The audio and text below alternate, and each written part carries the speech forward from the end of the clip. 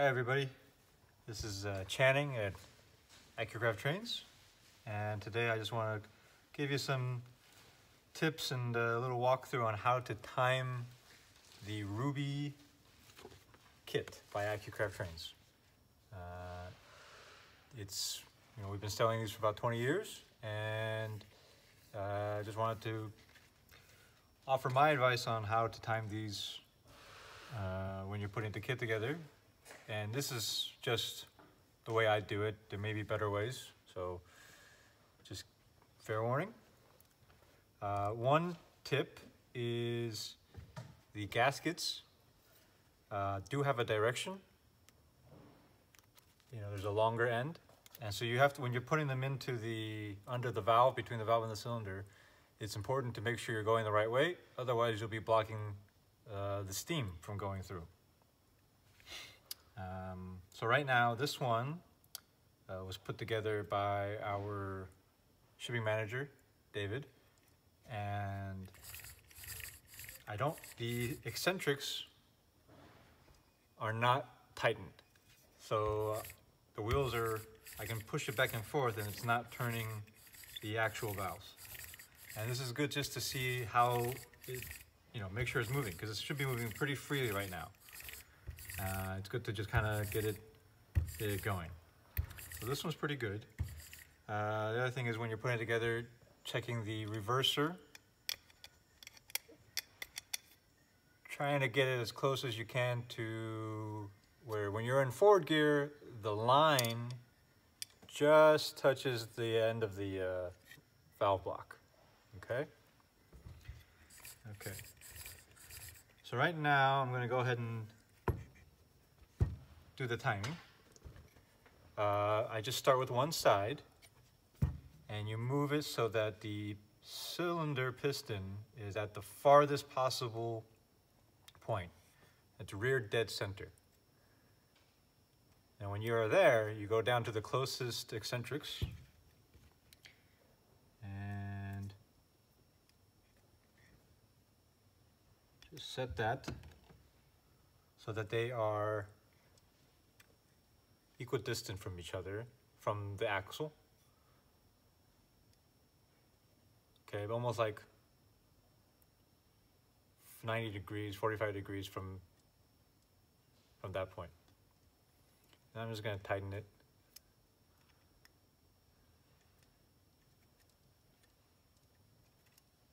And I'm gonna go to the other side. I'm gonna move the wheel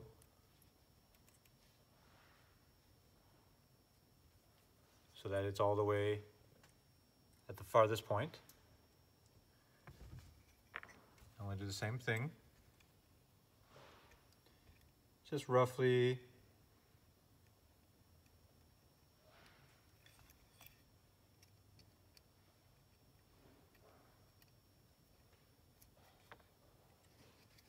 So you see how the one, this is the side I just did. And these you see the two holes, the set screw holes? They're just right, the same distance from each other on this axis. Okay. I'm gonna give it a little push. And then I'm checking right now that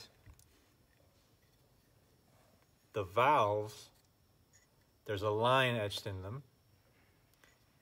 And I wanna make sure that they don't go further in than that. They should just go right to the edge and come back. So this one's a little bit, I could turn it a little.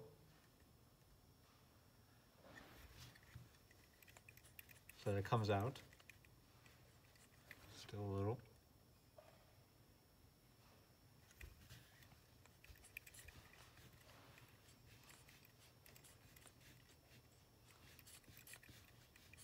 Okay, a little better. Feels okay, feels pretty smooth first time. You wanna make sure you have your moving parts oiled. like the, uh, I like to put a little drop on the bearings, on the axle, a little bit on the um, eccentrics, just a little bit, I do a little bit of steam oil even, on the valve. Just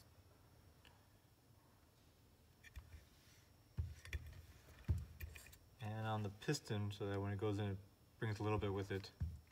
Because while you're testing it on air, you're not getting any much steam oil in there.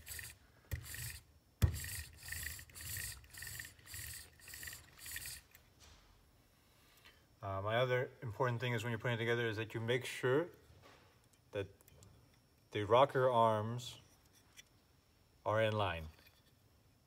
Okay, they should, you should try to get them in line as possible. Uh, I'm just gonna put this on air now. So this is my pressurized air. I like to put a little bit of steam oil right here.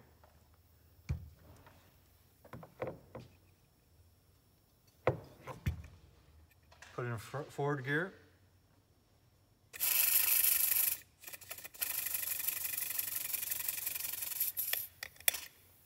Right, see, forward is pretty good.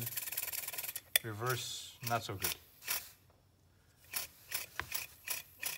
Now, so I can tell right now that my reverser is not quite in the right spot because if I'm in neutral, it should be not turning. And I'm going in reverse, so I'm going to try find that sweet spot. So I'm going to try turning the reverser so it goes in a little bit more.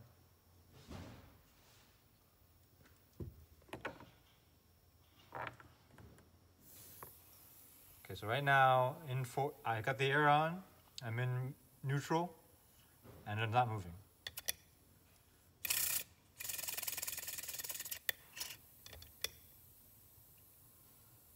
Just a little.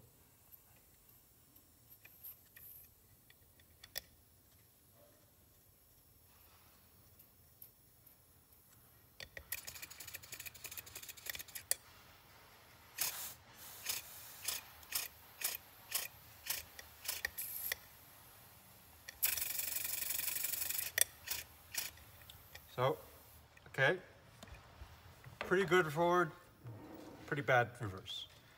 And then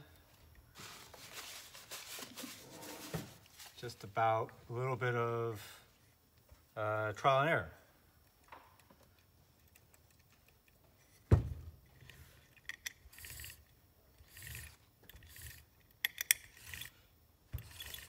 One good, one good practice is that when you're in whatever gear you're in, is to move it in that direction.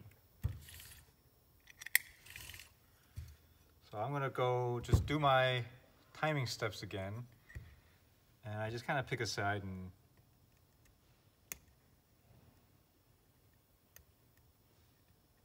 I'll move a little bit, just a little in one direction.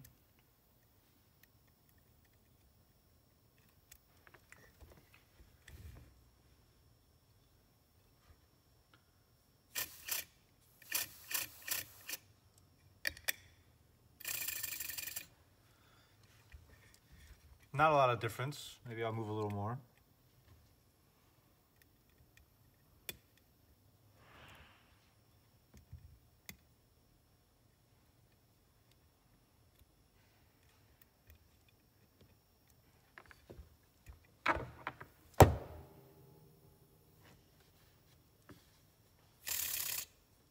Still good forward.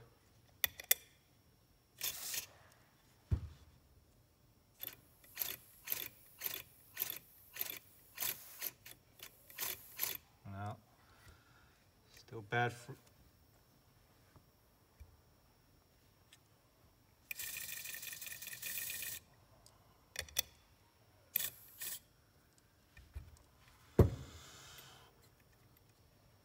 I think I'll try the other side then.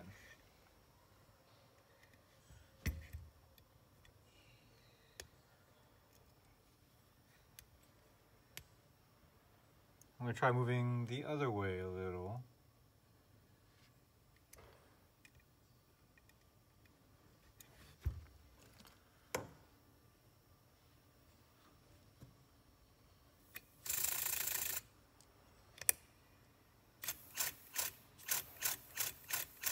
little better. See what happens if I go a little more.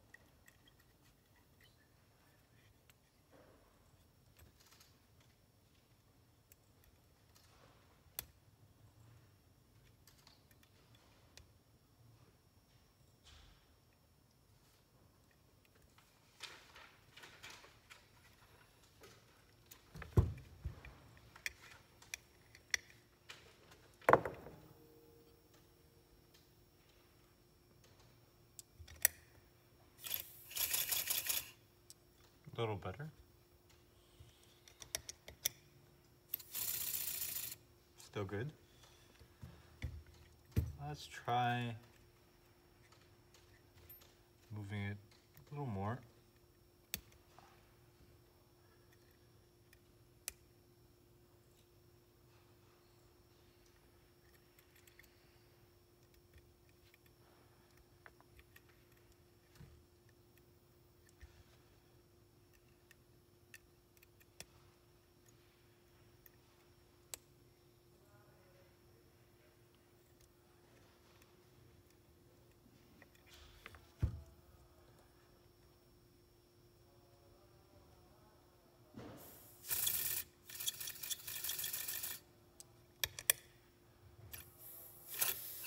Ah, back, that made it worse. So if I make it worse, go back a little.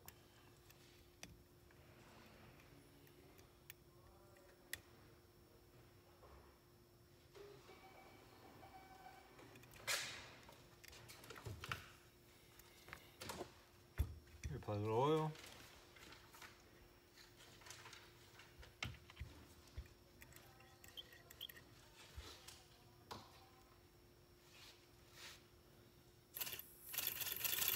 Oh, that's better. Still good forward. Now I have to remember, what did I just do? What? You forget. what did I do? Here we go. We'll go out a little more.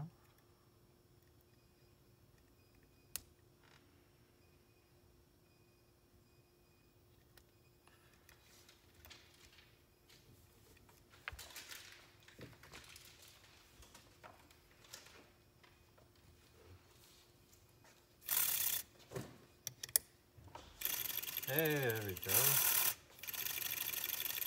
That's pretty good. Good forward. It's good reverse. Doesn't do anything in the middle. All right. And that's how I would time the ruby. Now, sometimes with these rubies, uh, you'll find that even if you have it, you think you have a time pretty good, but it's it goes and you you get some binding. Uh, and usually, if the binding is in the same spot, it's pretty periodic binding, something could be constricting on the whole system. Uh, what I like to do is I like to see where it is. So what I'll, I will undo these set screws here and here so that the wheels and the valves are no longer tied together. And I'll do it one side first. And I'll just see if I take one side out, do they, does it roll pretty well now?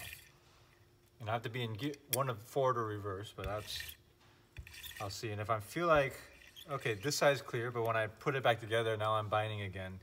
That usually means it's something with this rocker arm uh, or with this valve. And you may need to actually take the valve out, kind of make sure it's not, it can go back in and out easily. It may be that you didn't have the rocker arms lined up quite right.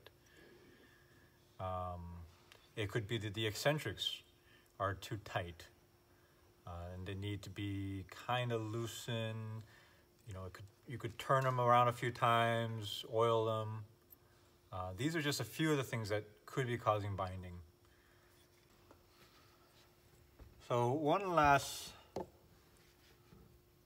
one last bit of advice is that some people like to time it in reverse um, for a different kind of admission, steam admission, where this is going forward and this is going in reverse. And the way to do that is easy. Instead of instead of normally where you would put this here to time this eccentric, you just put it in the most forward position and then you turn the uh, eccentrics around so that they're this way. And you do the same thing on the other side. So easy. Uh, some people like to do that. Some people may think it's more efficient. I'm not quite sure of actually the mechanics behind it. Uh, if you know, maybe you could put that in the comments. Uh, and uh, thank you. Thanks for watching.